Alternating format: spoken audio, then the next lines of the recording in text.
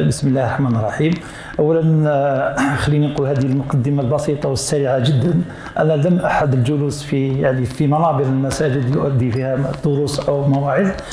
لذلك أنا أكثر معتاد على مقاعد الجامعة ومحاضرات ملتقيات فلا تلمونني إذا إذا خاطبتكم مرة على مرة بخطاب ربما أكاديمي.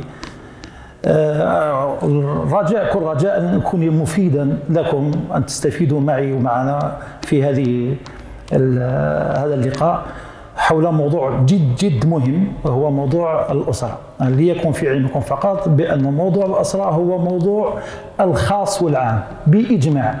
كل الدراسات الآن الدراسات الاجتماعية موضوعها الأساسي موضوع الأسرة. لو أن تروح الآن إلى فيسبوك دير الأسرة تلقى مجموعة من الملتقيات تتحدث حول الأسرة. لما لها من أهمية قصوى.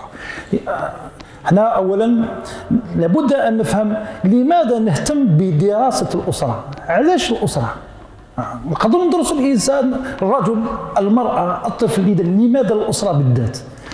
تعرف بأنه وأيضا لماذا كل التحديات مرتبطة بهذا الكيان الاجتماعي اللي هو الأسرة؟ تعرف بأنه أي مشروع تغييري أي مشروع أي مشروع ايا كان. مشروع سياسي مشروع اقتصادي مشروع اجتماعي مرتبط بدرجة أولى وكبيرة بخصائص الاسره تعرفوا بأن كل الأنظمة الاقتصادية هذه باش وجدت كما هي خلينا نقول لكم مثلا النظام الرأسمالي النظام الاشتراكي كل هذه باش وجدت تم تغيير بنية الأسر لتتكيف مع هذا البناء الاقتصادي الجديد. لذلك فالأسرة دائما تلقى تحديات كثيرة. بما في ذلك الأسرة الجزائرية بخصائصها الثقافية والاجتماعية هي أولا أسرة مسلمة بدرجة كبيرة عندها خصائصها عندها التاريخ تاعها الخاص عندها ثقافتها الخاصة. تلقى تحديات كبيرة بزاف.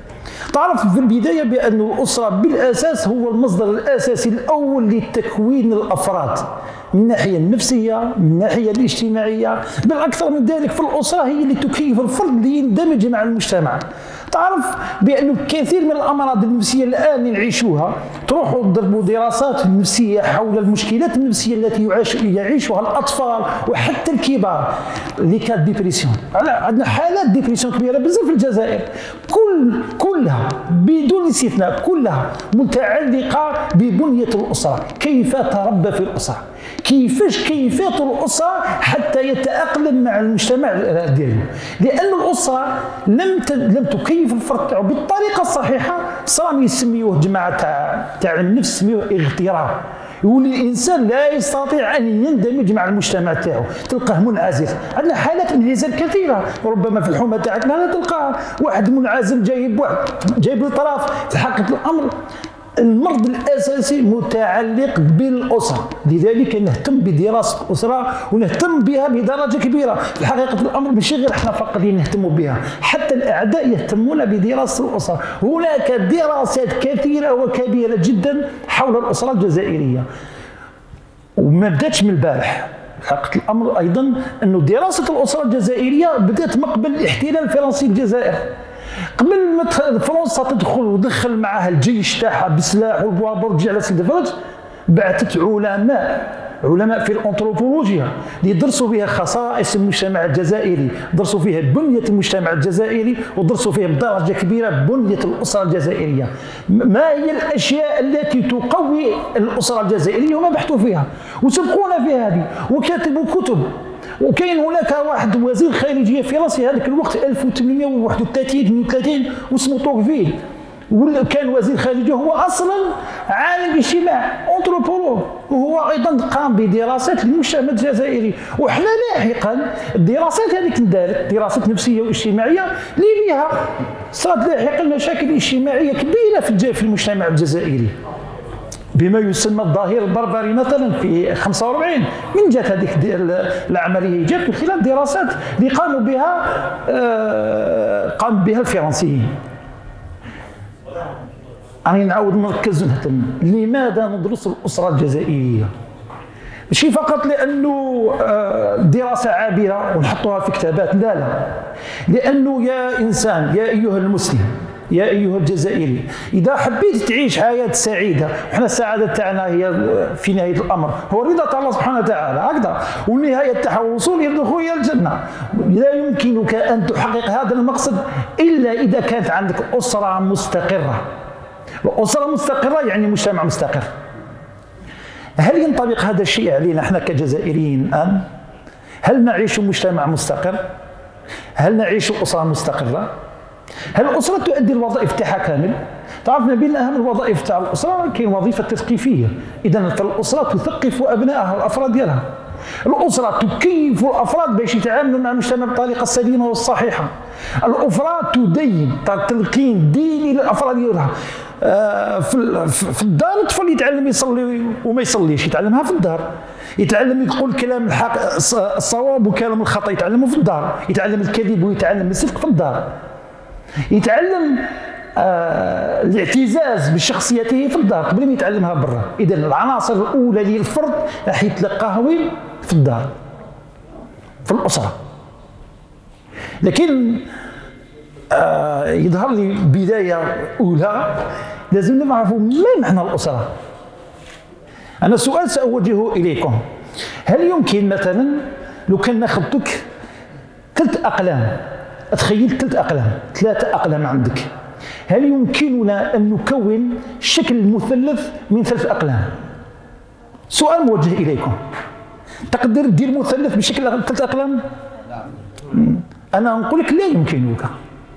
علاش؟ لأن نعم صحيت علاش؟ لأنه كاين واحد العنصر أساسي اولي سابق وشنو هو لازم تكون عندك تصور للمثلث الأول. انت ما كانش عندك متصور لمثلث سابق مستحيل تكون مثلث. لذلك أيضا الأسرة وكان ما كانش عندك تصور للأسرة مستحيل تكون اسره الأسرة ماشي رجل وامراه ماشي زوج وزوجة وأولاد ابدا. ابدا عمرها ما كانت هكذا أسرة تصور قبل ما تكون هي مجموعة من الأفراد. وعمرها ما كانت الأسرة مجموعة من أفرادها ابدا. الاسره الأسرة هي زوج وزوجة وأبناء. إن شاء الله سقف واحد ولكن أيضا تصور لمفهوم الأسرة. ما الشيء الذي تريده من خلال تكوين الأسرة؟ هذا هو الصح. وإلا مش يسمى زواج فقط يسمى علاقة. ما بين الوظائف تاع الأسرة هي العلاقات الجنسية. حبيت ولا كرهت ما بين الوظائف تاع الأسرة هي الوظيفة التثقيفية. لكن لما غابت عنا تصورات لمفهوم الأسرة ما معنى الأسرة؟ ولينا نتزوج نتزوجوا لكن لا نكون أسرة. نتزوج نصرف أموال نديروا آه، صديفات لكن لا نكون اسر وإنما نكون مجموعة من الأفراد تربطهم علاقة زواجية لكن ليس باسر والدليل والدليل وشنو هو؟ شوفوا هنا نسب الطلاق في الجزائر تعرفوا شحال كان نسب الطلاق في الجزائر؟ آخر إحصائيات أكثر من مئة ألف حالة طلاق في الجزائر عرفت شنو معنى مئة ألف حالة طلاق؟ نعم سنويا في 2023 قبلها 40 ألف حالة طلاق واش معناتها؟ معناتها كاين 400 ألف حالة أسرة مفككة في الحقيقة هي أكثر من ذلك. هي 200 ألف حالة الاستقرار لأسر لأن الأسر التي ينتمي إليها الرجل والأسر التي تنتمي إليها المرأة لاحقا. إحنا الجزائريين إذا تطلقوا صار خلاف كبير بيناتهم. إذا سينتج خلاف لا استقرار لاحظ مهمة بزاف. كي نقول أنا 100 ألف حالة طلاق لهنا يجر السؤال الاساسي وأكثر من ذلك ملاحظة أخرى أغلب التطليقات حالات طلاق جات ما بين الشباب من عمره 28 إلى 34 سنة. أغلبهم المعرضين للطلاق. شباب. ماذا يبحث الشباب؟ يعني السؤال لازم الإنسان يطرح. أيها الشاب لماذا تزوجت؟ وملاحظة أخرى هذه مئة ألف في الست شهور الأولى من سنة 2023 في الست شهور الأولى. وهو تزوج عنده ثلاثة أربع أشهر. السؤال اللي هنا يطرح أيها المتزوج أيها الشاب وأيتها الشاب لما قررتم أن تتزوجوا ما الشيء الذي تركتم؟ ما الشيء الذي دفعكم لأن تتزوجوا؟ ما هو الدافع؟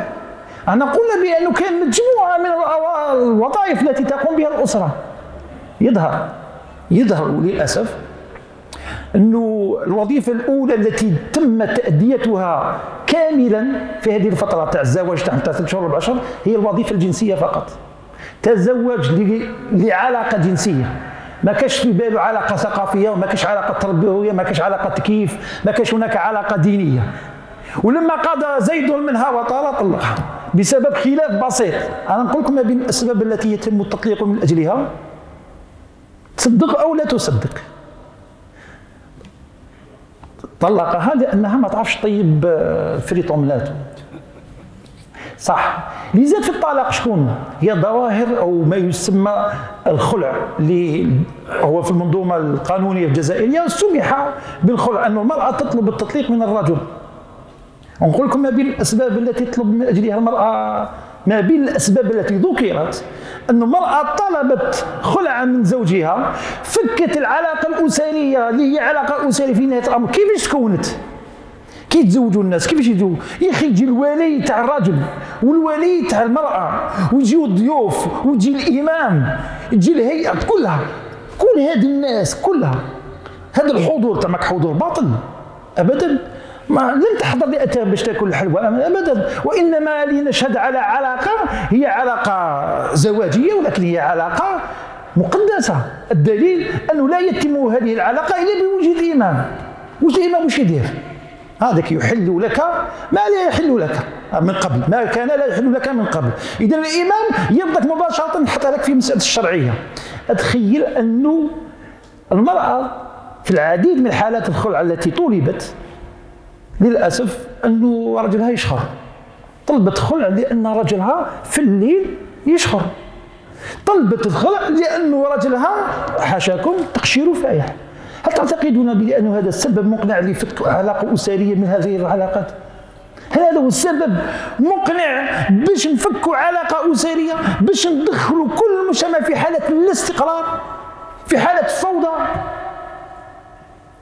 لذلك أنا نقول دائما السؤال نعود نرجع له أيها الشاب أيتها الشابة لماذا تتزوج؟ لازم نعاودوا لماذا غاب هذا المعنى عن عن الشباب وعن الشابات؟ أنا نقول لك أمر آخر. هو أن المجتمع لم يعد يؤدي واجباته الأصلية. كنقول المجتمع نبدأ بالأسرة اولا لأن التكييف وتاهيل الأفراد إلى هذه الحالة موجود في الأسرة. شوف القدوة الأولى تاع الرجل والمرأة في الأسرة. وين؟ هي باباه ويماه داير الراجل كي يكون راح يتزوج. شكل المرأة الذي يريد أن يتزوجها هي شكل تاع يماه يريدها كيماه والمرأة كي تحب تتزوج في البدايات كانت تحوس على رجل يشبه باباها. الشيء الموجود في الأب والشيء الموجود في الأم اللي كانت تبحث عليه الزوجات والأزواج. هذا أمر بزاف خصائص لكن هناك خاصيتين أساسيتين لا نكاد نجدهما اليوم في شبابنا اليوم للأسف. الخاصيه الأولى الموجودة في الرجل هو أن الرجل كان يتحمل المسؤولية تاعه رغم قلة ذات اليد ما يخلصش مليح يسوفري لكنه كان يتحمل مسؤوليته. ولادي آنايا نعشيهم ونوكلهم ونلبسهم ونسترهم وما نخليهمش يطمعوا. والأم ما هي الخاصية الأساسية اللي كانت متوفره فيها؟ الأم المثالية النموذج هو الصبر. المرأة تاع بكري كانت تصبر. تصبر على أذى زوجها ولكن أيضا تصبر على كل الأحوال الاقتصادية كانت تعيشها. وهاتين الخاصيتان للأسف غير موجودتين تماما في أشكال الزواج الجديدة. لا الشاب الآن مسؤول تخيلوا بأن هناك شباب أسر حديثة راجل آه، في فترة المغرب ما بعد المغرب. المفروض انه الراجل موجود داخل الدار أغلب الحالات. بعد العشاء وين موجود؟ داخل الدار. باش تعرف ولادك واش راهم يديروا؟ تتعرف على أبنائك. تخيلوا بأن هناك الكثير من الشباب من الأزواج اللي بعد العشاء يروح يلعب آه، كارتا ولا يلعب دومين ولا يلعب برا. يضيع وقته كبير مع الخارج ولا يضيعه مع أبنائه. حتى يكتشف في لحظة من اللحظات بانه وليده مريض عنده أمراض نفسية. ومن بعد كي يوصل راني نحكي لكم لأنه مثال في رأسي. أنا هذا السيد حتى أني ساعدته. ودينا حتى عدم بسيكولوج دينا وليدو حتى بسيكولوج. وعالم النفس هذاك يقول له بأن الخطأ الكبير أنك أنت وليدك هذا لم تتعرف عليه. وليدك كي كان يحوس عليك ما يلقاكش. تعرفوا بأن وجود الرجل في الأسرة بلا كلام يلعب دور كبير. كاين الدور العاطفي يحس الطفل بالأمان يحس الطفل بالحماية. أيضا لما يلقى يماه في الدار متفاهمين الأمان والحماية. نهار يغيب الأم وتغيب الأب الطفل ولي يحس بلا حماية ولي يبحث عليها في مكان آخر. وبعد نهار يخرج برا بطبيعة الحال سيجد من قد يبادله نوع من الحماية. أروح وليدي واش خصك مصروف هاك مصروف. ومن بعد يبدا تبدا حكاية الانحراف من هنا حتى يكتشف مع الآخر بلي وليدو يتناول المخدرات وليدو ولي ما يباتش برا وليدو ولي عاصي. منين جات هذه؟ لأنه أنا نقول بالبداية انه الأب غير مسؤول والأم غير صبورة. والأم الآن خاصة الأم الآن من خلال آه، شاشات التلفزيون من خلال مواقع الفيسبوك من خلال الفيسبوك خطر. إياكم. خطر عظيم فيسبوك. شوف تسمحوا لي على هذا التمثيل. فيسبوك صار ثالث رجل رجل ثالث في نفس فراش النوم تاع المرأة والزوجين. يدخل واحد فيسبوك. فيسبوك شغل كانه راجل هذا معهم فيسبوك الرجل ما لا ينتبه ما ما تفعل المرأة لأن المرأة في حال ضعف في حال ما إذا الراجل ما كانش يؤدي الأدوار ديالو الراجل غير مسؤول الراجل ما يقضيش الراجل اللي يعيط الراجل اللي يزقي bien sûr المرأة تولي كي المراه كي الابناء يبحثوا على بدائل أخرى. والبديل القريب لهم ما فيش عناء كبير وشنو هو؟ هو الإنترنت فيسبوك. يحضرني الآن العديد من النماذج اللي سقطت بسبب سبب, سبب فيسبوك. وصار فيه تبادل لصور. تبادل لصور. وبعد صار فيه تهديد.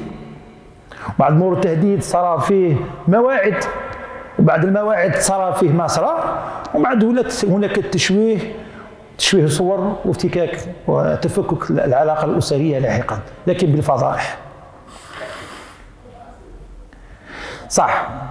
لذلك أنا نقول لكم هذه ما بين اهم التحديات هي تحديات بناء أسرة على الطريقة الصحيحة. ما الشيء الذي يعوق دون بناء أسرة على الطريقة الصحيحة.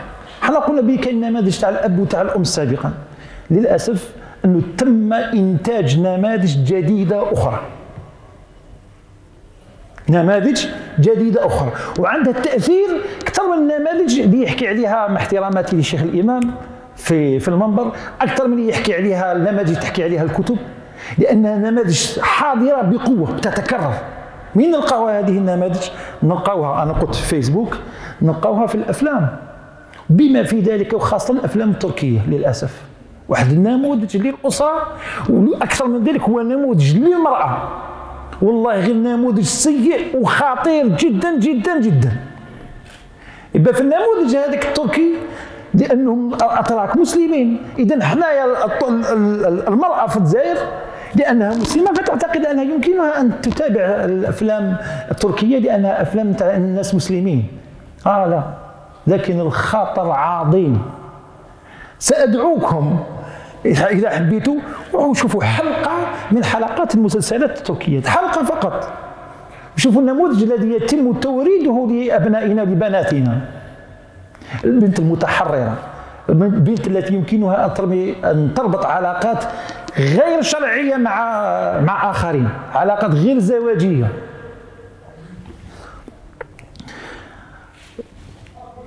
خلينا نعطيكم واحد النماذج. هي نماذج آه، عالمية.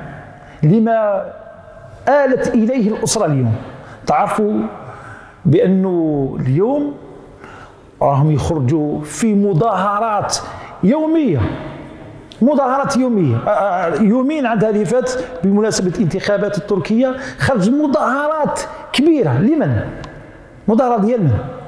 مظاهرة المثليين. تعرفوا إيش معناتها سماوهم المثليين. هم الشاذين جوا جنسا هم ذوي الشذوذ الجنسي أبا ماذا يطالبون؟ يطالبون ب تقليل علاقة زواجية ما بين أفراد من نفس الجنس. تولي عندهم أسرة متكونة من رجل ورجل. تولي أسرة متكونة عندهم من امرأة وامرأة. آه وش خص خص طفل إذا يتبنون طفلا. هذه المظاهر موجودة في أوروبا موجودة في أمريكا ويسعون سعيا كبيرا باش يديروا لها تقنين وصلوا. وصلوا إلى تقنين الزواج ما بين الرجل والرجل وتقنين الزواج المرأة بالمرأة. لكن قبل هذا قبل ما يديروا التقنين تاع زواج الرجل بالرجل واش كان من قبل؟ كانوا هناك علاقة زواجيه ما بين رجل وامراه كانت هناك رجل وامراه لكن بدون عقد شرعي. بدون عقد لا مدني ولا شرعي. بلا أولاد. الأولاد يكتفون بتبني أبناء. واللي قبلها واش كانت الحالة اللي قبلها اللي قبلها كانت هناك رجل وامرأة بعقد ولكن بلا أولاد. علاش ما يديروش دراري قال لك الفترة الأولى لازم الإنسان يزهى الفترة تاع الزواج الأولى لازم المرأة والرجل يعيشون حياتهم. مين جابوا هذا الشكل؟ هذا النموذج جابوه من الأفلام وجابوه من الفيسبوك لكن اللي قبلها واش كانوا اللي قبلها كانت هناك رجل وامرأة بأبناء. ما يفكركم في حتى شيء هذا الامر هي الحالات تاعنا اللي نعيشها الآن. هي حالتنا حبيت ولا كرهت؟ إحنا الآن في حالة رجل وامرأة بعقد ولكن يؤجلون إنجاب الأولاد إلى وقت لاحق. آه لا لا يريدون تأدية الدور الأساسي اللي هو دور التربية. يعيينا بزاف. يأخذ من شبابنا. لذلك خلينا فترة أخرى أكثر حتى نستمتع بحياتنا الزواجية. بعد لاحقا نجيبوا الدراري. آه بعد. ولنقول حبينا ولا كرهنا. في الجزائر هناك جمعيات للمثليين. في الجزائر هناك جمعيات للمثليين. وستنادي وستنادي في يوم من الأيام بضروره تقبل حالته. هذا كله المثليين هو عبارة عن انحراف الأذواق. هو انحراف الشهوات. ربي جعل ميل الرجل للمرأة والمرأة للرجل. أما ميل المرأة للمرأة وميل الرجل للرجل هو انحراف الأذواق. هو انحراف في اللذات. أنا نقول وقولوا قال لنا الأستاذ ولكم أن تدرسوا وأن تراقبوا سيأتي يوم حاولوا عندها إدارة نذكر عندها واحد أربعة أو خمس سنين حاولوا أن يديروا الجمعية وتم رفض آه، إعطائهم الاعتماد.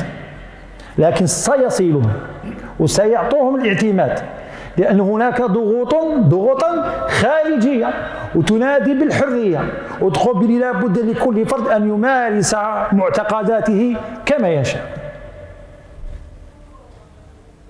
يحضرني الآن مثال آخر موجود هو كان جزائري هو جزائري أصلا من ذوي الميولات الشاذة إمام في في مارسيل عقد هو إمام في مارسي عقد علاقة زواج ما بين آه، رجلين.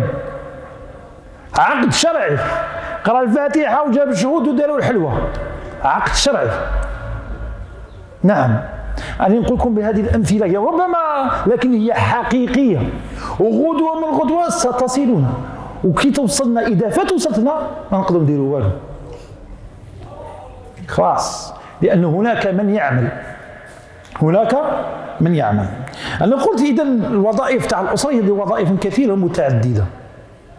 هي وظيفة تثقيفية وظيفة تربوية ولكن أيضا وظيفة ترفيهية.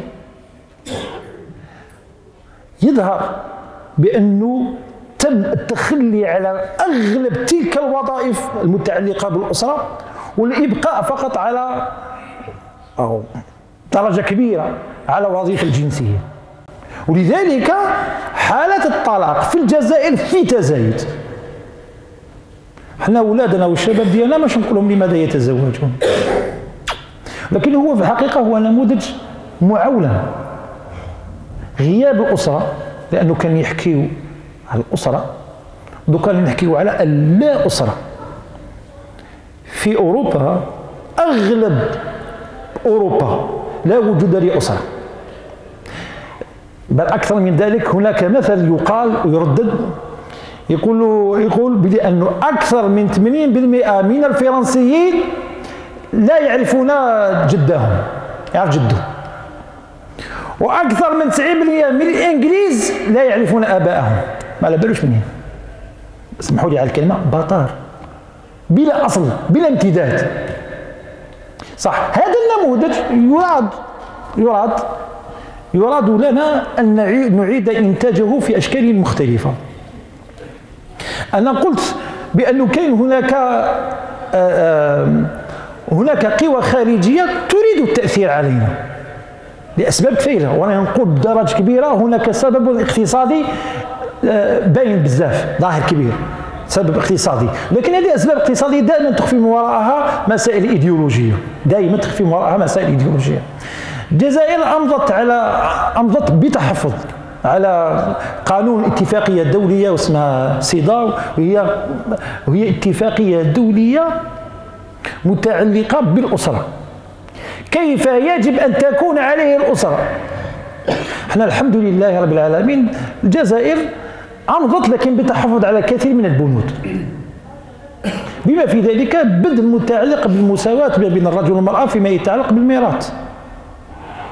وأنا أتذكر هنا في فترة الحراك فترة الحراك اللي هي فترة اللي كانت تسمى فيها حرية أكثر جملة كانت تتردد بكثرة. مفادها نعم للمساواة بين الأبناء والبنات في الميراث. نعم سيدي تقبلها كيما راهي ولا واحد قال أحبسهم أخي الميراث مسألة قانون رباني. الله سبحانه وتعالى هو اللي أسسه هو الذي أوجده. نعم. فكيف لهؤلاء أن ينادون بمثل هذه الأمور؟ ألا يعتبر هذا عكس التشريع الإسلامي؟ أرانا إننا نتغير بكميات قليلة ولكن من على عام عامين ثلاثة سنشهد تغيرا كبيرا. بما أننا قبلنا بهذه الجملة ولم نتنكر لها ولم يعني نعارضها تيقن جيدا بأنه لاحقا ستكون واقع سيتم في يوم من الأيام المناداة في البرلمان تقنين قانون المساواة في الميراث ما بين الأبناء والبنات. للأسف. ولو أنه هذا لا يزال حلما بعيدا بالنسبة إلى أولئك الذين ينادون بمثل هذا الشيء. لكنه واقع سيكون. واقع سيكون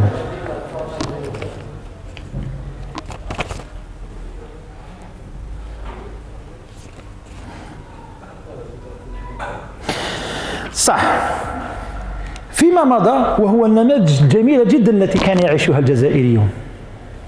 فإليكم لماذا في ما زال لاحظوا جيدا أننا نتكلم باللغة العربية. وفي المناطق الناطقة بالأمازيغية لا زالت تنطق بالأمازيغية. كيف لهؤلاء كيف لنا أن نبقى أن نتحدث بالأمازيغية وبالعربية رغم أن فرنسا كانت في الجزائر مدة أكثر من قرن و30 سنة؟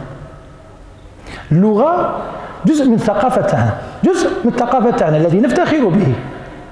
كيف تمكنا نحن كجزائريين من المحافظة على هذه اللغة؟ حقيقة الأمر أنه كما كنا نحكي مع مع الشيخ في في الكواليس نعم يأتي هنا دور الأسرة.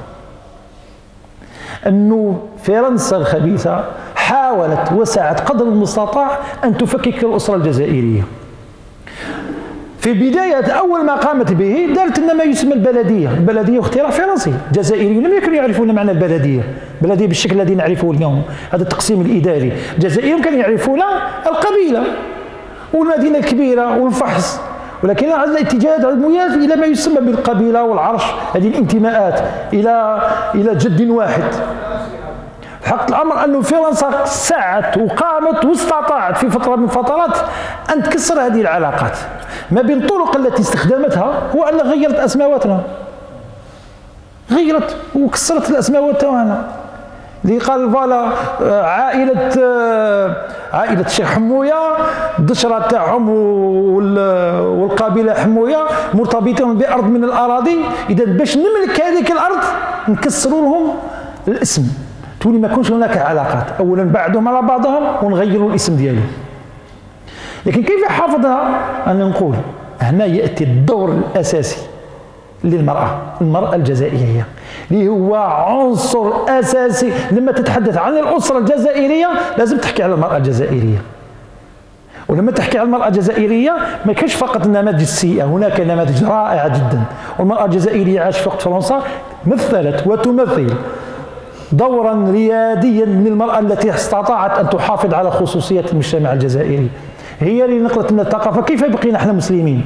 هي اللي نقلت لنا ثقافة المسلمين ما قبل الاستعمار الفرنسي إلى يومنا هذا. هي التي حافظت على اللغة التي نؤمن بها. نتحدث بها. هي التي نقلت لنا كل القيم والمعايير. حبينا الراجل كان يروح الم... يا إما إنه يروح يطلب المعيشة الحياتية اليومية وإما يروح يكافح ويحارب في رصيد غيرها. المراه فكانت تقوم بهذا الدور هو الدور التربوي.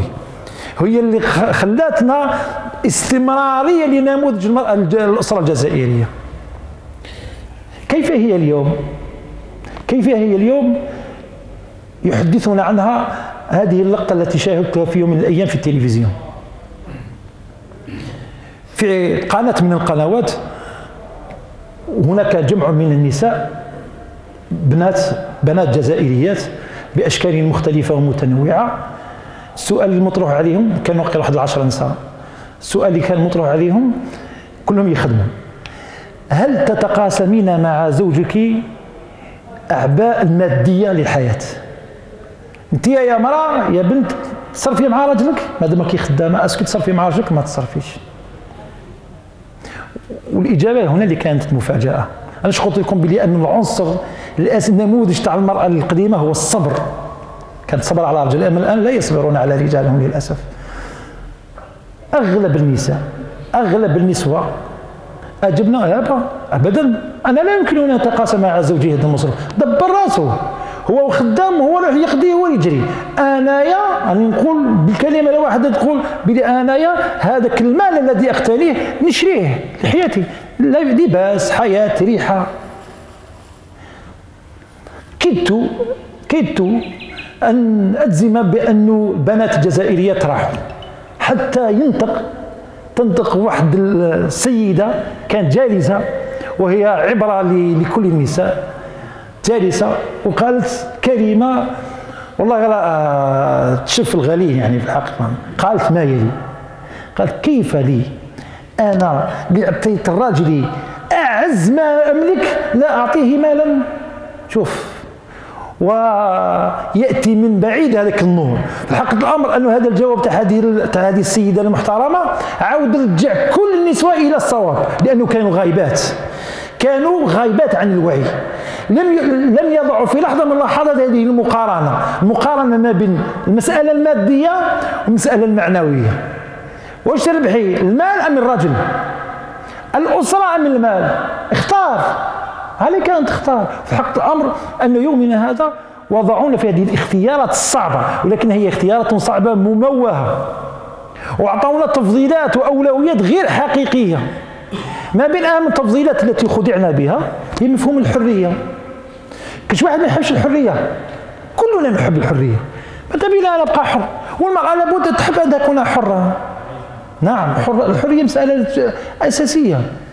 هل الحرية لها ضوابط يبقى فهمونا. من خلال هذه التلفزيون من خلال الوسائط من خلال النماذج تاع الفوتبولور من خلال النماذج تاع الممثلات بأن الحرية مطلقة.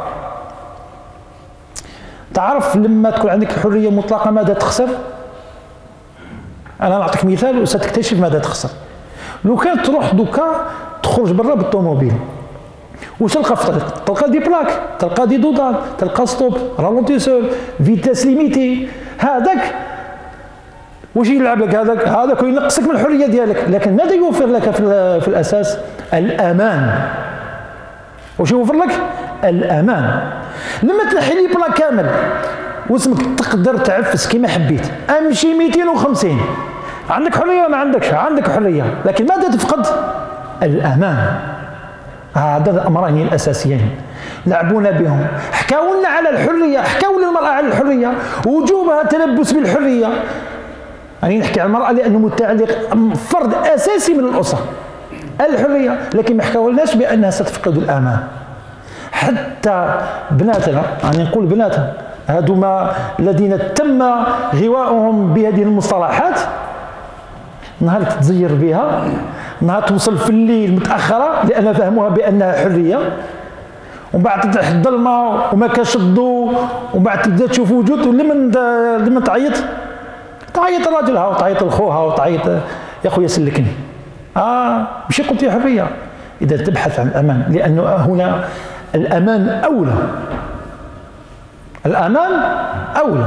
والأسرة ما بين التحديات اللي حطونا فيهم فهمونا بأن الحريه هو الحريه المطلقة. افعل ما تشاء. المرأة تخرج الوقت اللي حبت والولد يخرج والراجل يخرج الوقت اللي يحب. حق الأمر. هذه القضيتين هذه قضية الأمان والحرية مسألة جوهرية ومسألة يتم التلاعب بها بشكل كبير جدا في الإعلام. يتم التلاعب بها بشكل كبير آه، جدا.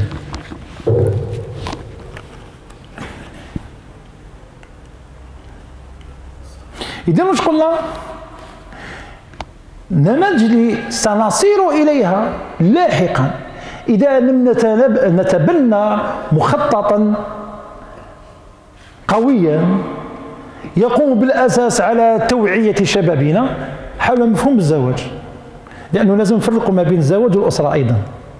يقدر يكونوا متزوجين الراجل هنا والمرأة في دارهم وهو في دارهم. هذه اسمها علاقة زواجية لكن لا تسمى أسرة.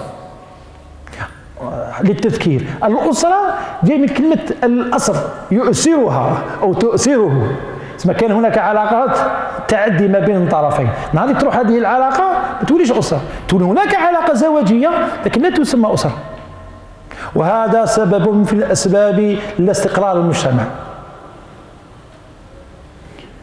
ولينا اليوم نخرج مول العشاء بعد صلاة العشاء تلقى الدراري تاع 10 سنين 7 سنين 8 سنين 12 سنة برا في الليل أنا السؤال اللي يطرح وراه الأب وراه الأم.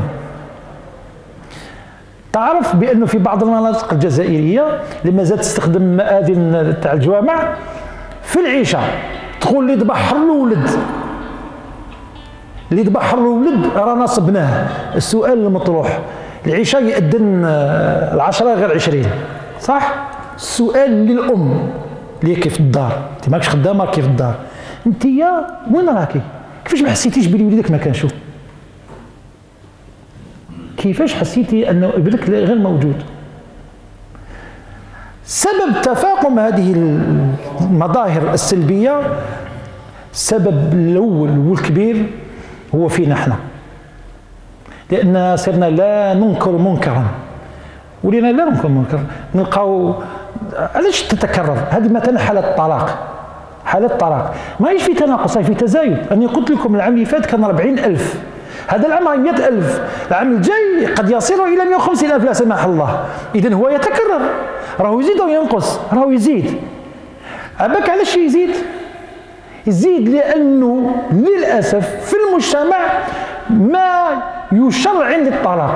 ولات المراه كي تطلق دير في فيديو في فيسبوك تي فيديو وتحتفل بالطلاق. ويسمح لها. وماشي شكل ماشي زوج ماشي ثلاثة. علاش ولا تكثر؟ لأنه عدد المشاهدات يزيد. ما دام عدد المشاهدات يزيد؟ إذا القتل الشرعية. آه إذا طلاق مليح. إذا المسألة متابعة يمكن إعادة إنتاج الطلاق. ولذلك داروا في حالة الخلع. كثرت بزاف حالة الخلع عند المرأة. لأنه لقاوها بلي تزيد ولقات هناك مباركة من العائلة. ولات العائلات اليوم تبارك تبارك الطلاق وتبارك الخلع. ولكن ابدا ما قراتش مآلات الخلع ومآلات الطلاق لاحقا. وليؤدي للأسف إلى الجريمة. تعرفوا بلي أنه هناك قاعدة في حق الأمر. المفاسد لا تأتي لوحدها. مفاسد ما تجيش وحدها. لو كان نذكر لكم أنا قلت لكم بانه حالة الطلاق في تزايد. عدد الجرائم في تزايد. تسرب المدرسي في تزايد. حالات الفساد بدراسة جزائرية في تزايد. حق الأمر تبان لنا لأول وهلة بأنها منفصلة لكن هي ليست منفصلة. هناك تكامل كبير ما بين الفساد. إذا زاد الرسوب المدرسي إذا زاد الطلاق زاد الرسوب المدرسي زاد الفساد زاد الجريمة زاد تناول المخدرات. والعكس صحيح. إذا نقصت عدد عدد الطلاق ينقص معها الجريمة تنقص معها الرسوب المدرسي تنقص معها الفساد. حتما. هذه سنة كونية. ولكم أن تلاحظوا في المناطق اللي تكون فيها الخير بزاف عدد الناجحين أكثر عدد الملتزمين أكثر عدد الناجحين في حياتهم الاقتصاديه أكثر ودواليك. أين نجد مثل هذه المظاهر السلبية للأسرة التي تعيشها الأسرة؟ تحديات كبيرة تعيش. تلقاها في المدن الكبيره لماذا لا نجدها في المدن الكبيره لأن أشكال الأسرة تغيرت. بكري كانت ما يسمى العائلة الممتدة فيها الجد والجدة والأم والعم والأخوال. كل هؤلاء يمارسون العملية التربوية. كامل يراقبوا كامل يعسوا. الولد يغيب يتأخر يلبس ما يجيش. كلهم يمارسون العملية التربوية. والفرد في هذه الوقت لا يضيع. الطفل ما يضيعش الفقير في هذه المجموعة يلاحظ يتابع يراقب. أما اليوم مع عصر العمارات كل واحد عنده الشقة تاعو يدخل ويغلق الباب. ما على بالوش ما جارو أسكو في وضعية مريحة ولا في وضعية غير مريحة. علاقات ما بين الجيل علاقات فاترة جدا. بل أكثر من ذلك هناك في في دراسات في القضاء هناك مشاكل ما بين الجيران كبيرة بزاف. وزادت. زادت. على عكس ما هو موجود في المدن الريفية. الدراسات أثبتت بأنه نسبة الطلاق في المدن الريفية أقل. الحق الأمر لأنه هذا متعلق بشكل بنية الأسرة في حد ذاتها. لأن الأسرة ما زالت ما تمارس دور الحماية. الطفل ما يحس بالحمايه في الدار ما يحس كان هناك دفء ما كانش هناك عاطفة ما كانش هناك تبادل الطفل يروح. أما في العائلة الممتده ما زالت هناك نوع من الحميمية. ما زالت هناك عاطفة هناك تقاليد. ما زالت الناس تأكل في طبسي واحد كبير. ما زالت تشارك الآخرين. وما زالت في فترة الأعياد وفترة اللقاءات العائلية تشعر بالأفراد ووضعيتهم المادية.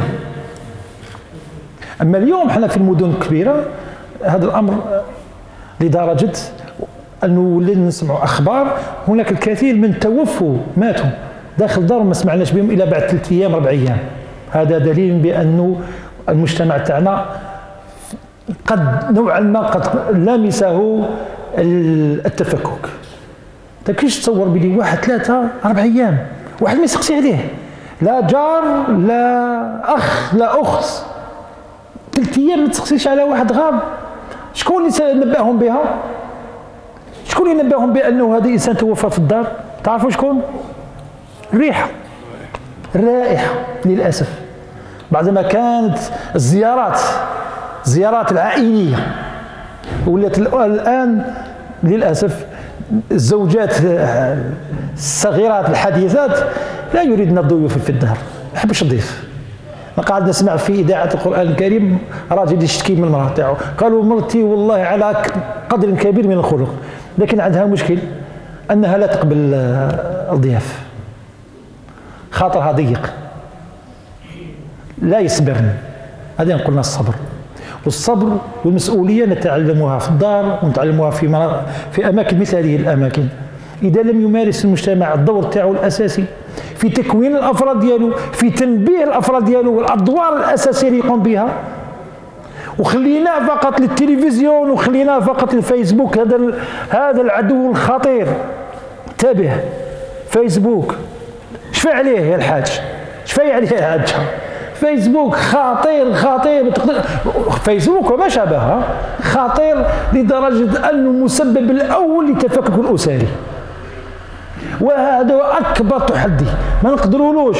علاش ما تقدرلوش؟ لأنه مجرد هاتف صغير. يكفيك فقط كوانة صغيرة وراك تشوف. ما تعرفش وليدك واش يشوف ما تعرفش بنتك واش تشوف ما تعرفش الزوجة تاعك واش راهي تشوف. بون باش نقول لك روح قلب الزوجة تاعك هذه مسألة ثقة. لكنه لابد الإنسان أن ينتبه. إذا حبيتهم أن يتخلوا على هذه القضية لازم تكون البديل. أيها الرجل لابد أن تكون رجلا. أكون رجل. رجل بمعنى الحقيقي اللي نعرفوه إحنا كلمة رجل أما إذا كنت ذكرا فالذكور كثير. رجل. والرجل هناك المسؤولية التي يقوم بها. المسؤولية اتجاه المحيطين اتجاه الزوجة تاعو اتجاه الأبناء تاعو. أهم الأمور التي تقام عليها الأسرة هو الحوار.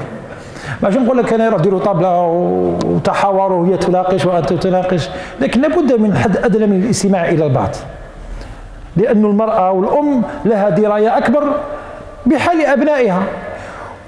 وأهم مشاكل كنا نعيشوها وعاشوها الأبناء والأولاد والبنات هو أنه متعلقة بالأم التي تخفي عن الزوج وعن الأب مشاكل متعلقة بالبنات وبالأبناء. ما تحكيليش واش صرا بنتها جات متأخرة وليدو جا متأخر ولا وليدو كلا ولا وليدو ضرب ولا وليدو صرف وهذه ما بين الأمور التي يمكنها أن تكون قاسمة للتفكك الأسري. لذلك نعود نذكركم بأن أهم عنصر الذي توفره لنا الأسرة هو الحماية والاعتراف. الأسرة تكون الأفراد تاعها؟ أن تحمي الأفراد ديالها الأسرة التي لا تستطيع حماية أفرادها لا يمكن لها أن تكون أسرة. لا يمكن أن تستمر أن تكون أسرة. ثانيا هو الاعتراف. كيفاش يتم الاعتراف؟ الاعتراف بأنه وليدي تابع لي من خلال هذه الممارسات العاطفية من خلال التربية من خلال حتى أنك تروح توكلوا هذا أيضا نوع من الاعتراف على أساس ان ابني. ولما يوصل الابن أنه يحس بأنه هو في حماية بأنه معترف به بأنه ينتمي إلى مجموعة هنا يحس بالأمان. وإذا وليدك حس بالأمان ما نقولكش ارقد بأمان ولكنه هو مؤشر جد إيجابي على استقرار الأسرة. السؤال اللي ينطرح هل نحن ننحو نحو نحو الاستقرار؟ هل المجتمع الجزائري تاعنا سيزول؟ أنا حكينا بزاف على المظاهر السلبية حكينا بزاف على مظاهر التفكك على الطلاق على على الجريمة على أنا نقول لك لا ابدا. هي مظاهر هي ظواهر سلبية ظواهر اجتماعية سلبية. جات بينا. نحن أسباب كمجتمع كأسر جات بينا وتروح بينا أيضا.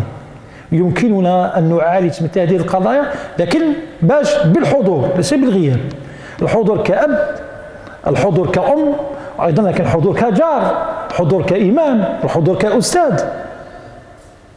إذا تخلينا عن الأدوار الأساسية بطبيعة الحال الرجل إذا تخلى على الدور تاعو كرجل سيأتي يوما وين المرأة تدي دور تاعها تدي الدور ديالو. أنت الراجل إذا لم تؤدي دورك فستؤديه المرأة. ولك أن تتخيل الأدوار التي يمكن أن تمارسها المرأة خارج الادوار تاعها الأساسية. ورانا نشوف الكثير من النماذج السلبية جدا حينما يتم تبادل الأدوار. أنا ركزت بزاف على دور المرأة لأنه صح الرجل عنده دور. وحضوره أساسي. حضوره داخل الأسرة أساسي. حضوره قاطع صارم. لكن المرأة إذا غابت صدقوني غالب الحالات الأولاد يفسدوا بالعكس نعيشوا حالات وين الأسر الآباء تاعهم متوفين ولكن الأمهات تاعهم عايشين الأبناء خارجين. ما شاء الله. على عكس تماما آه، يحضرني هنا نموذج في عائلة وين ربي يرحمه إن شاء الله على كل حال لكنه كان سيئا. كان سيئا كان يبيع المخدرات. لكن كل الناس نعرف أنا هذاك الحي كل الناس حيرين. كيفاش ولادو هذوما عاقلين. كيفاش هادو ولادو يروحوا يصلوا؟ كيفاش هادو ولادو ما يبيعوش المخدرات بل أكثر ذلك ربي عطاهم واحد النوع من الجمال. دي بلون شابين يلبسوا مليح. حالو باباهم يبيع المخدرات. لما توفى باباهم ظهر كما يقولوا لابارتي تاع دايسبرغ ظهرت الجندي الخفي اللي هي الأم اللي كانت وراء تربيه أبنائها. لذلك أنا نقول إذا ما بين أهم التحديات اللي حنعيشوا فيها إذا التحديات معنا الأسرة الادوار الأساسية اللي تقوم بها الأسرة لابد الشباب تاعنا لازم يكون يعرف لماذا يتزوج ما الغرض من الزواج تاعو ما هي الوظائف التي يريد أن يؤديها. ثانيا هي المرأة والنموذج. لابد أن ننتبه إلى هذا الدور. المرأة المرأة كأم المرأة كبنت المرأة كأخت كل هذه الأدوار الأساسية اللي تدفعنا لاحقا إلى ما يسمى بالتماسك الأسري. تماسك الأسري. بلا تماسك أسري مجتمع غير مستقر مجتمع غير مستقر مجتمع غير مستقر اذا الأفراد ديالو غير مستقرين. ولذلك حنايا لاحقتنا الإحصائيات تقول بأن عدد الأفراد الذين يميلون نحو الاضطراب النفسي في تزايد. بزاف ربما لكم أن تتخيلوا. في جيرانكم في الناس اللي تعرفهم شحال من واحد يعيش ضغوط نفسية. شحال من واحد الان ولا يروح عند علماء نفس عندنا بسيكولوج. شحال من واحد ولا يدي واحد دريد حسين؟ حقيقه الأمر هذه مؤشر حقيقي بأن المجتمع يتألم. المجتمع يتألم. وأول المناطق التي لازم أن نعالجها عندما يتألم المجتمع وين؟ هي الأسرة. نروح نشوف أن الآليات اللي تبناها الأسرة. الأب هل يتابع أبنائه هل يراقبهم؟ هل يمشي معهم؟ هل يتسوق معهم؟ شحال فترة نقضيوها إحنا مع أبنائنا مع بناتنا؟ أنا قلنا لأنه هاتي في الأسرة وين نعاود حتى نعم. عنصرين أساسيين يتوفرهم الأسرة. إذا غاب هذا العنصرين قل الأسرة تاعك مشكل فيها كبير. هو عنصر الحماية وعنصر الاعتراف. الأسرة اللي ما فيهاش لا توفر لأفرادها. الحماية لا توفر لأبنائها. الاعتراف لاحقا عارف منيح بأن هذه الأسرة فيها مشكل كبير. تعرف الابن ابن يعترف به انطلاقا من اسم اللقب العائلي ها يقولوا حمويا عبد القادر. هو اعتراف بك. لكن هناك اعتراف مش فقط بالاسم. هناك اعتراف بالعلاقات. نهار باباك يمشي معك نهار يماك تديك معه وتحكي عليك انك تعترف بك على أساس أنك فرد من هذه الأسرة. فرد من هذه المجموعة. فرد من هذه المجموعة. والدراري الآن اللي نشوفوهم أنتم مور العيشة. برا اللي في عمره 9 و10 و12 سنة برا. مشكلة أنه لا الوالدين تاعهم لا يعترفون بهم كأبناء. لأنه المفروض الابن في هذاك الوقت راهو في الدار. يلقى الحماية من الدار. يلقى الرقابة من الدار. نهار يولي الولي باباه ما يسقسيش عليه هنا يتخلى عن الاعتراف عليه. وبعد نهار يولي يحس الطفل بأنه الوالدين تاعو لا يعترفون به كإبن لأنه ما يعيطولوش ما يتعشى معاهم ما يفطر معاهم يأكل برا ويشرب برا ويدخل متأخر. لأن يحس بنوع من العزلة. والعزلة تتحدث عن نفسها. العزلة تؤدي إلى المخدرات تؤدي إلى الانحراف وفي الحالات حنقول لك في الحالات أحسن يدير dépression وعديد من الحالات الأفراد الآن نعيشوا عند ولاد فاميليا أن ولادهم يديروا dépression يديروا آه dépression كيفاش؟ اضطراب نفسي. انهيار نفسي يعطيك الصحة. انهيار عصبي. ويقولوا بأنه مرض العصر مرض العصر هو القلق. وفي في تصنيف أهم الأمراض اللي تعيشها يعيشها عالميا. الأمراض هي أمراض القلب أمراض ضغط الدم وكلها عندها علاقة بالحالات النفسية. كلها عندها علاقة بالحالات النفسية. إذا حبيت تسترجع أنت السكون النفسي لابد من أسرة ساكنة.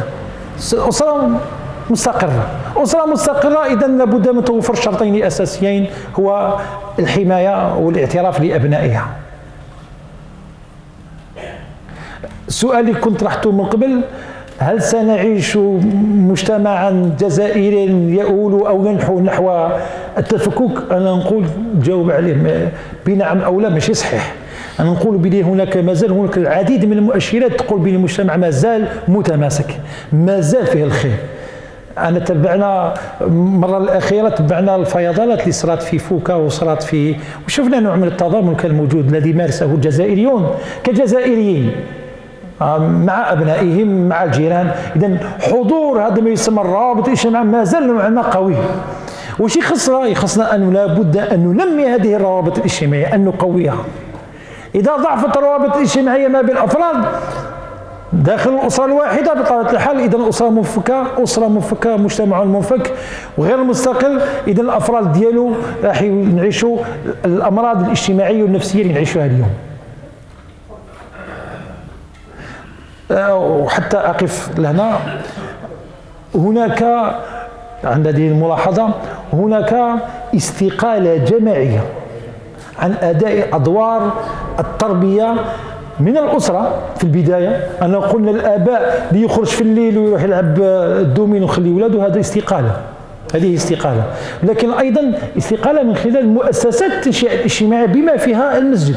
المسجد هو عبارة عن مؤسسة من مؤسسات التنشئة الاجتماعية التي تمارس دورها في تربية الأبناء وتوجيه وتوعية الأفراد. لكن أيضا كان هناك مؤسسات أخرى لا ليست أقل أهمية. ولعل أهم تلك المؤسسات هي المدرسة. والمدرسة حديث ذو شجون مع المعلمين الجدد الآن للأسف. مع احتراماتي لكل الأساتذة والمعلمين. معلم فيما سبق كان عنده دور رسالي كان يؤدي رسالة. طفل المعلم فيما سبق كان يربي داخل المدرسة ويربي خارج المدرسة. أنا من الجيل الذي عاش هذه الفترة اللي كنا نهرب من المعلمين كيشوفوا من البعيد. من الجيل اللي كنت نخاف من أن يشوف نحط عيني في في المعلم ديالي. أما اليوم للأسف هناك هناك ميل كبير أنه العديد من المعلمين والمدرسين يؤدون الوظيفة لكن ليست الرسالة. الوظيفة اللي تقولوا تخدم ساعة من 9 ل 10 وتحبس تخلص الوظيفة تاعك. وهذه ما بين الاسباب أيضا التي فاقمت مما يسمى تحديات المتعلقه بالأسرة. لأنه في نهاية الأمر كي تروح تشوف أنت داخل الكتاب قراءة آه، قراءة في الابتدائي تلقى دروس متعلقة بالأسرة. كيف تعامل والدك؟ كيف تعامل أخوك؟ كيف تعامل أختك؟ كيف تعامل جيرانك؟ كيف تتعامل في الأعياد؟ هذه أمور متعلقة بالأسرة التي المفروض أنها تقوي العلاقة داخل الأسرة لكن للأسف لا لا غير موجودة. أنا ما عنديش دراسة في هذه القضية ولكن كاين هناك آه، انطباع كبير بأن المدرسة لم تعد تؤدي الدور تاعها الكفيل في آه، تقوية الروابط الاجتماعية داخل الأسرة الواحدة. إذا نعم إذا تحبوا. كمل كمل. صح. أنا ممكن نذكر لكم ممكن نذكر لكم بعض صح. صح. أنا نذكر لكم آه، بعض الوظائف الأساسية أنا ما ذكرتهاش كلها على كل حال. بعض الوظائف الأساسية اللي كان المفروض أن الأسرة تقوم بها. شوف الأدوار الأساسية اللي المفروض أن الأسرة تقوم بها. الأسرة مصدر إشباع حاجات الفرد بتوفير بتوفير الحب والاحترام والحماية النفسية. الأسرة أيضا من خلال الأسرة تتكون يتكون النظام الاجتماعي والاقتصادي. بمناسبة النظام الاقتصادي الأسرة الجزائرية فيما سبق كانت أسرة منتجة. كانت أسرة منتجة. أنا شايف في سنوات على الأقل أتذكرها نهاية السبعينات الثمانينات كانت الأسر الجزائرية بما في ذلك الأسر العاصمية تخدم تخدم خيط تخدم تريكو تخدم بليش أنا أمور كيما هذه العجار راني نتذكر هذه العجاره بزاف وتروح تبيع اذا كانت نعم. الصوفي هذيك الصحة. وكانت تروح تبيع كانت إذا هي اسره منتجة. بصح منتجة كانت نوع تميل نحو الاكتفاء الذاتي لا تحتاج إلى الآخرين. أما اليوم نحن أسر مستهلكة. كاش مرة دوك الان مازال تخدم العجار وتخدم الصوف ابدا. تسنى لا بيت على راجلها ولا ذاك الخدامة يتكل على الخدمة ديالها. تولي متعلقة مرتبطة بالخارج. ما عندناش استقلالية. الأسرة سابقا كانت مستقلة ماديا. حتى المرأة في الدار كانت مستقلة عن زوجها المعلمه الراجل إذا ما يخلص شي ناحيه تغطي له هذاك هذاك العجز.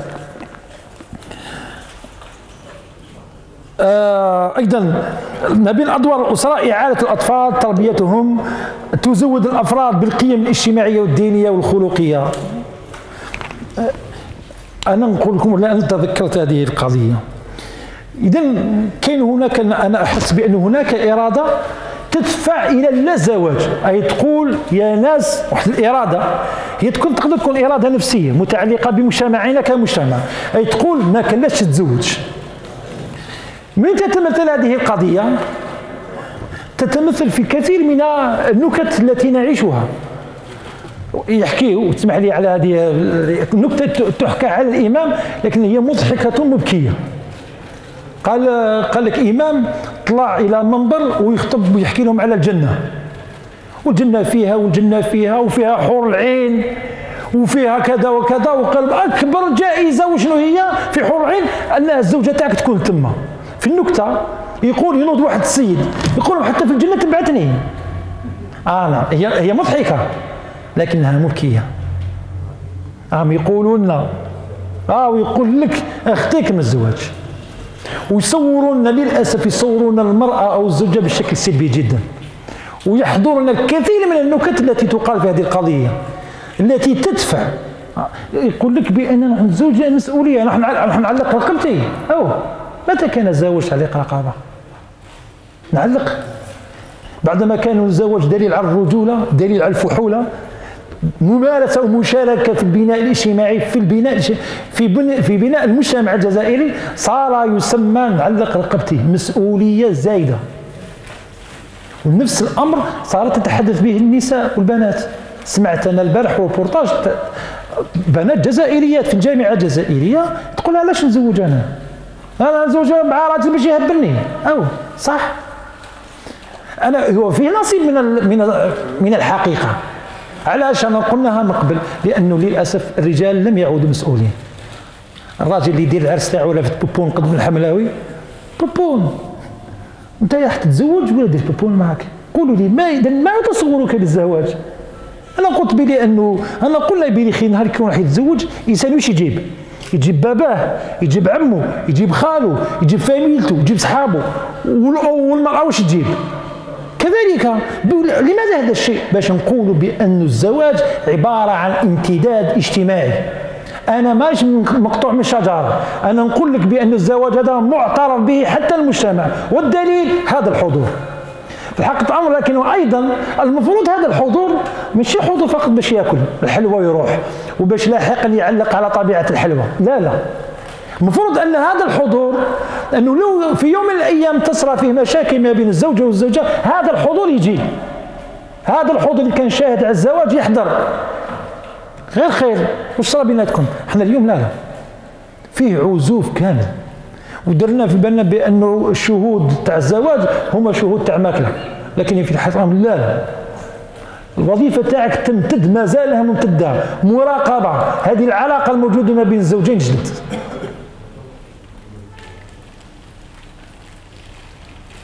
اذا باش نركزوا أكثر نعاودوا نفهموا أكثر بانه الانتباه إلى الأسرة مسألة جوهرية.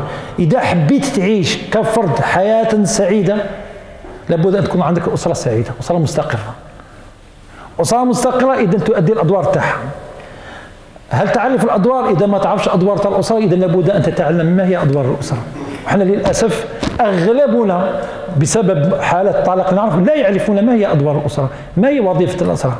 لماذا نتزوج؟ خاطرش المفروض اللي يعرف لماذا يتزوج ما يطلقش بعد ثلاث شهور ما يطلقش بعد أربع شهور ولنا في آبائنا والأمثلة كثيرة اللي يتزوجوا عنده سبعين سنة ستين سنة مع مع الزوجة تاعه رغم قلة ذات اليد فقراء لكنه يعيش معه. وفاء. إحنا للأسف لا يوجد هذا الوفاء. لأنه كاين مرحلة ما قبل الزواج يتم فيه استنفاد كل الطاقة اللي كان المفروض تستنفذها بعد الزواج. تليفون فيسبوك العلاقات وما غيرها. ولأنه تركز في لدينا من خلال نماذج كنا نحكيو عليها. نموذج اللي جبناه من فيسبوك نموذج جبناه من خلال الممثلين النجاح حتى النجاح نموذج النجاح ولينا نشوفه في التلفزيون تاع ممثلة وتاع فوتبالور وتاع لكن عمر ما حكونا على نموذج النجاح تاع أسر تاع وفاء تاع علماء غير موجودة. ولذلك هناك ميل كبير هناك نسب كبيرة للطلاق في الجزائر. وهو في الحقيقة الأمر. أنا شاركت في مرة في مرة في في ندوة على التلفزيون في هذه القضية وقلت هذه الكلمة. شوف كل السياسات الاقتصاديه اللي دايرة في الجزائر. كما يقولوا الجزائر الجديده وفيها اجتهاد وفيها مصروف وفيها كذا ونريد بناء شباب جديد وهناك مؤسسات. أنا قلت في هذه القضية بأنه أي مشروع اقتصادي دير كما حبيت أصرف شحال حبيت. لا يأخذ بعين الاعتبار هذه مؤشرات. مؤشرات الطلاق هو مشروع فاسد. لأنه الفرد اللي مش مستقر في الأسرة تاعو مستحيل يكون مستقر داخل المشروع. تاع اقتصادي. مستحيل. يؤول إلى فساد. فشل نعم فشل. لذلك فكل ما السياسات الاقتصادية والاجتماعية اللي تبنتها الدولة تاعنا إذا لم تأخذ بعين الاعتبار هذه المؤشرات الاجتماعية أنه قلنا نسب الطلاق المخدرات الآن المخدرات كبيرة بزاف الفساد التسرب المدرسي وجود الأبناء في فترات الليل المتأخرة كل هذه المؤشرات الاجتماعية تؤثر سلبا. تؤثر سلبا على كل المشاريع الاقتصادية التي آه، تتبناها الجزائر. دير ما شئت من المشاريع لكن إذا ما خدتش هذه النقطة بعين الاعتبار لن ينجح. لذلك في المؤسسات الاقتصادية الكبيره المحترمه عندما test يسموها test psychotechnique. ال test كانت لي فرصة اني شفت هذا التست فيه في بعض المناصب فيه أكثر من 200 سؤال. من الاسئله كلها متعلقة بالحالة النفسية تاع الفرد. هي في حالة الجزائريين الذي يعيش حاله حالة غير مستقرة. هل يمكن توظيفه؟ لا يمكن توظيفه. ليش؟ لأنه يعيش حياة غير مستقرة. الحياة المستقرة في البداية يعيشها داخل الأسرة المستقرة. حتى أنتهي نقول بأنه اللي يعيش في أسرة مستقرة هذاك فضل من الله تعالى. يحمد ربي ويشكر على ذكر الوضعية لأنه العديد من الأسر الجزائرية للأسف تعيش حالات غير مستقرة بسبب لا مسؤولية الأب وعدم صبر الزوجة. وهذا هو وشكرا لكم ويعطيكم الصحة. ما الذي يمكن أن أن يفعله المتلقي الآن؟ أنا قلت هي هي ما, ما يمكن أن يفعله الإمام في البداية. نعم. أنا قلت لأنه غابت عن الشباب تاعنا وظيفة لماذا نتزوج لازم يدير في باله هذا علاش تتزوج؟ أنا قلت اسمحوا لي على هذه الكلمة اللي نكررها بزاف. شبابنا اليوم يعتقد بأن الزواج هي هي هي علاقة علاقة جنسية مشرعانة. هذا هو. حبينا ولا كرهنا؟ هو ما يحبش يدير الحرام يديروا في الحلال ومن بعد ينتهي هذيك الفترة لأنه اعتقد بأن الزواج مربوط بهذيك النقطة. برك اذا هذيك الفترة ثلاث شهور أربع شهور قاد زيد منها وطرا يروح. ليش؟ لأنه ما ربطهاش بالوظائف الأخرى. ما هو الدور تاعك الأسرة؟ لماذا تتزوج؟ علاش؟ تحصيني النفسي أوكي هذه مرحلة لكن كان هناك أمور أخرى. ان نشارك في المجتمع في بناء المجتمع. قيم قيم جديدة. أنا احصن الزوجة هذه هي المرأة. اشارك في بناء قيم جديدة. أنا اضمن أيضا الاستمرار خاطر هذه مساله أساسية استمرار الاسم ديالي. نسل هذه مسألة أيضا أساسية. إذا يقوم بها الإمام. ولا هنايا من خلال الإمام إلى الآباء إلى الشباب لابد أن ينتبه. يحبس لهنا قبل ما تزوج قبل ما تختار لماذا ستتزوج؟ خاطرش لماذا ستتزوج؟ هو يحدد لك من ستتزوج. آه بيان إذا درت في بالك بأنك تتزوج لتربية الأبناء وتتزوج لضمان الاستمرارية والاستقرار داخل المجتمع وللرضا والآخر من ثم تبدأ الخيارات تاعك تتقلص. نوع المرأة التي سأخذها المراه التي سأتزوجها. أما إذا غاب عليك كله وبقى غير العنصر الآخر كل البنات يتشابهوا بعد.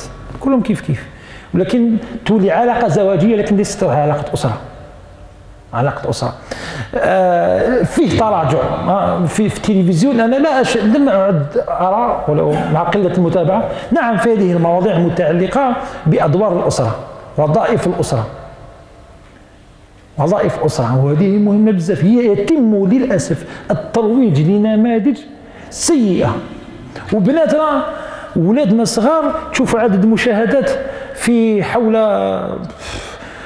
فيديو من فيديوهات تاع هؤلاء بالملايين. تلقى واحد بالملايين يشاهدونه وهو نموذج لأبنائنا إذا ما على بالكمش. والنموذج هذاك يبدأ أول نموذج من نموذج اللباس ومن بعد نموذج الكلام ومن بعد نموذج الفكري وأغلب النماذج للأسف غير متزوجة. لاحظتوا بأنه كاين نماذج تاع امراه ما على باليش إذا هذه تصرا ولا ما تصراش. لكن راجل المراه تاعو في تيك توك وكيفاش في الكوزينة وكيفاش هذا هو النماذج الاسره آه مشكلة. مشكلة حقيقية. حنا معترفين نحكي مسألة ثقافة الجزائريين هذه مسألة حميمية. حميمية. لا يمكن مشاركتها مع الآخرين. إذا وصلت شاركت هكذا ستشارك أيضا حتى غرفة النوم. ومصيبة كبيرة. صح. شكون يوقف لنا هذه القضية؟ شكون يوقف مثل هذه المظاهر السلبية؟ هما حنا أن لا نشاهد أن نقاوم. حنا رانا نشاهد حنا رانا نشوفوا حنا أنا وليدي مرتي جاري حنا حنا لا نعطيهم الشرعية من خلال مشاهدتها. انت نهار تعطي له الشرعيه بيان أنت راك تفهم وليدك بشكل غير مباشر بأن هذا لا نوجد مثال الذي يجب أن يعاد إنتاجه. للأسف. وهذا ما يعاد إنتاجه في الجامعات. باش ما نعممش. دائما دائما كاين هناك مظاهر جد إيجابية في بناتنا وفي اولادنا على العموم. لكن نحكي أكثر على هذه المظاهر السلبية حتى نتفطن. نردوا بالنا أكثر. نردوا بالنا أكثر. إذا بقينا غافلين فمآلنا إلى زوال. والله مآلنا إلى زوال. يبقى فينا غير الإسم فقط. مع التحديات الموجودة اللي تعيشها الجزائر من بين أنا نحكي على الجزائر الجزائر تعيش تحديات كبيرة جدا. تحديات على كل الأصعدة. تحديات أمنية ولكن بدرجة كبيرة تحديات ثقافية. تحديات ثقافية اللي ممكن تقيسنا حنايا كجزائريين في ثقافتنا كجزائريين ولينا نتبرأ. تحت في شباب يتبرؤون من تاريخهم؟ شباب لا يعترف بالتاريخ تاعو. شباب لا يعترف بالأمير عبد القادر. يسب الأمير عبد القادر يسب بن باديس يسمى العربي العربي بالمهدي ويسمونهم بسمات غير حقيقيه وين شفتوها؟ في فرنسا العدوة الأولى والأبدية. تروح إلى فرنسا كامل. les grandes statues تما دايرين نابليون قتل قتل شحال؟ 20 مليون. كل صور التماثيل الموجودة هناك هي تماثيل قتل لجنرالات قتلوا آخرين لكن في فرنسا يفتخرون بهم. إحنا عندنا علماء وعندنا مجاهدين في عظمى نفتخر بهم ونعطيهم كنماذج أساسية. صرنا نسبوهم. جبدوا حكاوا على بن باديس حكاوا على الأمير عبد القادر الأمير عبد القادر حكاوا عليه قالوا بلي خاين حتى لو كان خائنا. يا أنا جزائري حرها دمك مش حار انت أنا والله ادافع إلى الممات كل الشخصيات الجزائرية بدون استثناء كلها. كل رموز ثقافي ونحن الجزائريين التاريخ تاعنا. لا يبدأ من من دخول فرنسا ولا يبدأ من دخول الدولة العثمانية إلى الجزائر. داخل تاريخنا ممتد ممتد ممتد. إلى ما قبل الدولة الرومانية. نعم هذا تاريخنا لا بد أن نفتخر به. صح نفتخر بكون وجود دخول المسلمين والعرب إلى الجزائر. هذا جزء من التاريخ ولكن كوننا التاريخ تاعنا ممتد إلى ما قبل. الوجود الإسلامي نعم أفتخر به وما تخافش هذا جزء من تاريخك لابد أن تفتخر به. والأسر تاعنا إذا ما علمناش لابنائنا هذه النماذج التي يجب أن نفتخر بها. علاش تعيش؟ تولي فارغ. فارغ جوف فارغ. لابد أن نعتبرها وتكون عندنا النماذج الأساسية التي يجب أن نحتذى بها ونفتخر بها إلى الابد أول نموذج وأهم نموذج هو نموذج الأب والأم اللي عشت عندهم. آه لابد أن تفتخر باباك ويماك لا تتنكر لهم رغم ربما حالتهم الاقتصاديه كانت ضعيفة لكنهم كانوا اباء وكانوا أمهات.